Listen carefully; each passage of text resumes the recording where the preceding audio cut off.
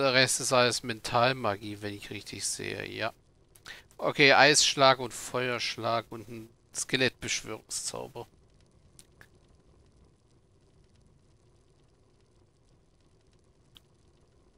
Äh, also verkaufen wir ihm mal die drei. Verkaufen ihm die drei Ruhen. So.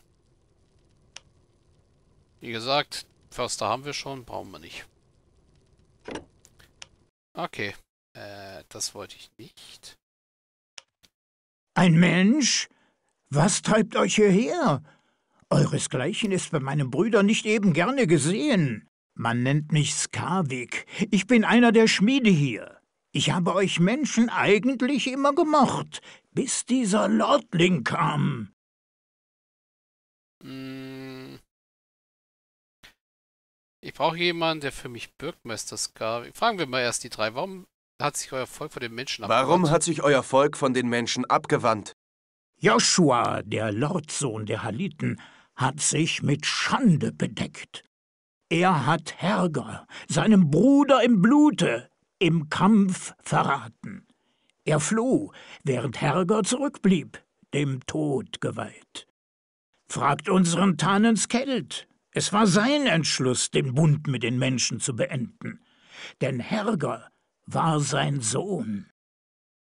Ah ja. Was hat es mit diesen Blutsbrüdern auf Was sich? hat es mit dieser Blutsbrüderschaft auf sich?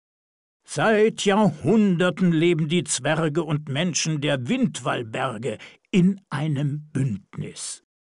Nach dem Krieg der sechs Völker begann die Bruderschaft des Blutes.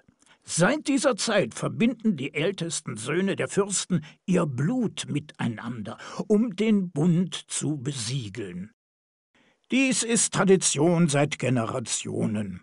Auch unser Tanes Kelt und der Lord der Haliten, Junior, wurden so einst zu Brüdern.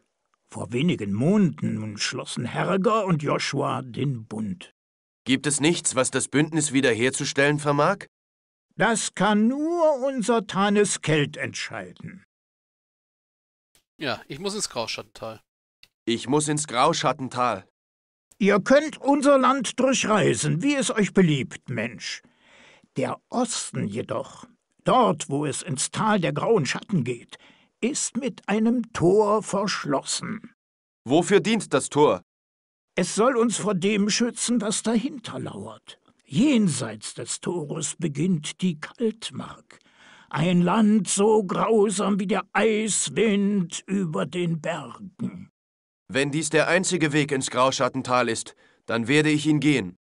Der Wächter am Tor in die Kaltmark hört nur auf den Befehl unseres Tanens Kelt. Ihr werdet seine Erlaubnis benötigen, um weiter nach Osten vordringen zu können. Dann brauche ich jemanden, der für mich bürgt. Ich brauche jemanden, der für mich bürgt, Meister Skarvik. So? Denkt ihr etwa, ich hege keinen Groll gegen euer Blut? Lordling Joshuas Feigheit entfacht in mir den gleichen Zorn wie bei meinen Brüdern. Aber Streit führt uns nur in den Untergang. Wenn ihr den Bund neu schmieden wollt, um der Gefahr aus dem Osten zu begegnen, dann soll es nicht am Starrsinn unseres Volkes scheitern. Ah, ihr macht einen anständigen Eindruck. Ihr seid kein Schwächling wie dieser Joshua. In euren Augen brennt Feuer. Also gut, ich werde für euch bürgen. Enttäuscht mich nicht, Mensch. Fertigt ihr auch Waffen? Fertigt ihr auch Waffen? Ich habe keine wirklich gute Waffe mehr geschmiedet, seit die Minen auf dem Schwertfels zerstört wurden. Auf dem Schwertfels? Eine Insel südwestlich von hier. Dort gruben wir das seltene Adamantinum aus der Erde. Und die Diener der Tiefe, die dort leben, empfingen uns als Brüder. Aber der Zirkel befahl uns, immer mehr Waffen zu schmieden, und eines Tages traf uns der Zorn unseres Gottes. Die Minen wurden zerstört, und die mächtigen Klingen der Macht sind seitdem nur noch Legende. Könntet ihr mir eine Klinge der Macht fertigen? Das könnte ich wohl. Was glaubt ihr, wen ihr vor euch habt? Aber um ein solches Werk zu beginnen, benötige ich eine Grundform, eine Erdenklinge, ein Gegenstand, wie er nur auf dem Schwertfels zu finden ist. Die Diener der Tiefe schmiedeten sie in den Tagen, als noch ein Bund zwischen uns bestand. Nur auf dem Schwertfels werdet ihr fündig werden. Okay. Neue Nebenquest. Erdenklinge. Skarvik der Zwergenschmied in den südlichen Windwaldbergen erzählt von den mächtigen Erdenklingen, die aus Adamantium gefertigt wurden.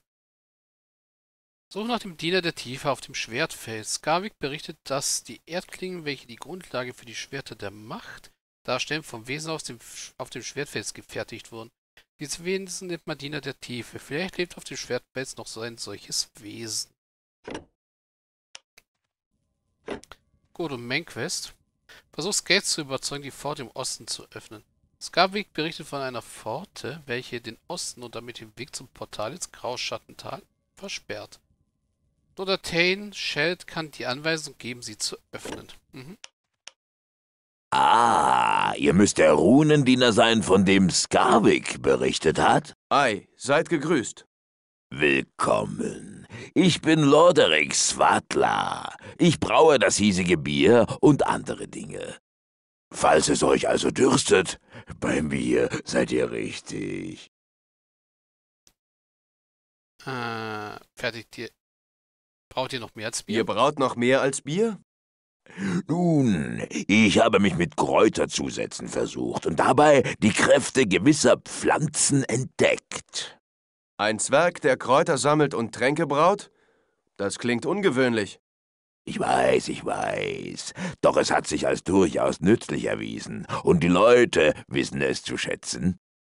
Ah. Fertigt ihr auch düstere Gebräue? Hm, fertigt ihr auch düstere Gebräue? Vom Heiltrank zum Gift fehlt nicht viel, falls ihr das meint. Äh, äh, was habt ihr vor? Nun, ich dachte da an einen gewissen Riesen. Ein Gift könnte ihn lähmen. Dann wäre es ein leichtes, ihn zu bezwingen. Herger? Ein solches Monstrum zu vergiften ist nicht eben einfach, nicht ohne ihm gleich fässerweise Gift einzuflößen. Aber ich wüsste da vielleicht ein Mittel, das wirken könnte. Zumindest würde es ihn eine Zeit lang schwächen. Man nennt es den grünen Schlaf. Ja, äh. Je größer sie sind. Hörger, ein Riese, ist aus dem Felsen der südlichen Windwaldberge herabgestiegen und bedroht das Land. Er tötet die Einwohner und stiehlt die Rinder von den Weiden. Den Zwergen ist es nicht gelungen, ihn zu vertreiben. Loderick, der Meister der Tränke, kann ein Gift zubereiten, das man wohl mit etwas Rindfleisch als Köder an Högers Schlafplatz ablegen könnte.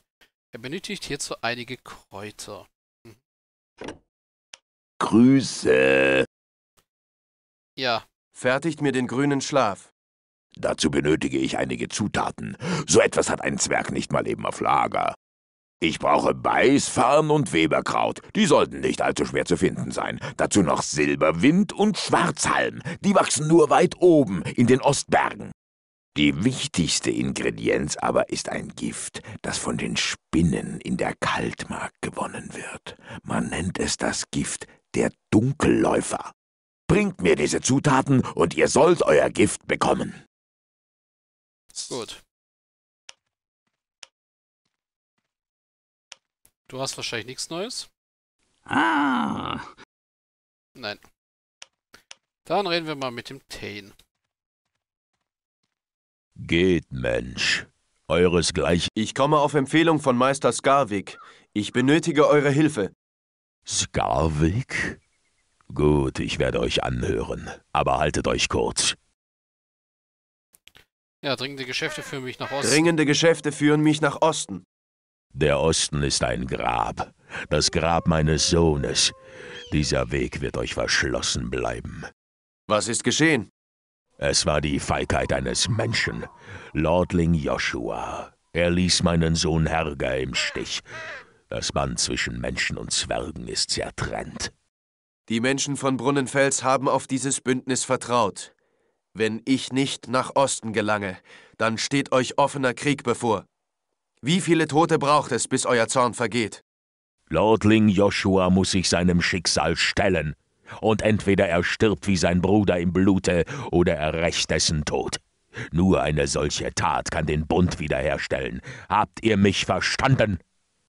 Dann werde ich Joshua dazu bringen, seinem Feind in der Kaltmark noch einmal gegenüberzutreten. Unter diesen Bedingungen werde ich das Osttor für euch öffnen lassen.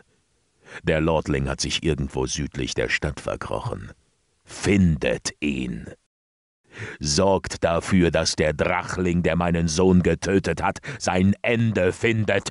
Der Helm Hergers soll mir als Beweis dafür dienen, dass es vollbracht ist. Ja, was ist mit eurem Sohn geschehen? Was ist mit eurem Sohn geschehen? Helga brach zusammen mit seiner Garde auf, um die Pfade nach Osten zu erkunden. Wir planten ein Heer durch die Kaltmark zu entsenden, um den Menschen im Grauschattental zur Hilfe zu eilen. Sein Bruder im Blute sollte ihm zur Seite stehen, doch Lordling Joshua ist kein Krieger. Er ist ein Feigling. Sie durchquerten die Kaltmark, bis sie weit im Osten hoch in den Felsen auf ein Drachenwesen stießen. Ein Drachling, der dort seinen Hort errichtet hatte. Es kam zum Kampf. Der Lordling, dieser Wurm namens Joshua, nahm seine Beine in die Hand und lief, lief davon und ließ seine Gefährten und seinen Blutsbruder im Stich. Wimmernd wie ein Weib stolperte er vor unsere Tore. Keiner der anderen kehrte mehr zurück. Fluch über den Lordling und seine Brut. Kein Bund verbindet mich mehr mit solchem Gewürm. Okay.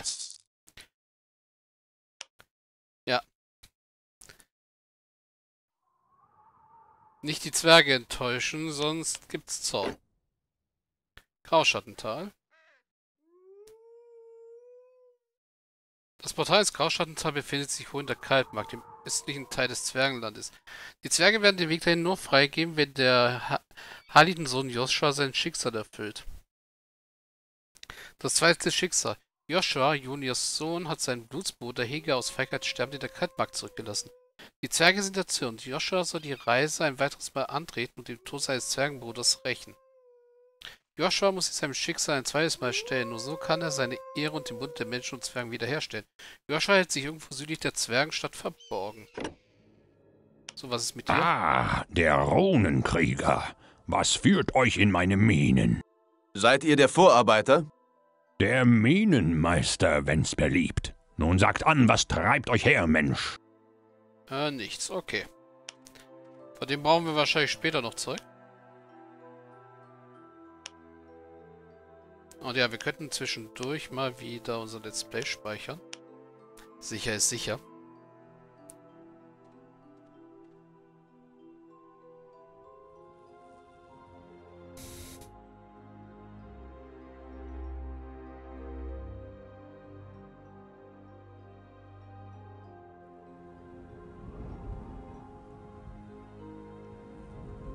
Also ja, wir müssen Kräuter sammeln, um den Riesen zu töten. Wir müssen Joshua finden.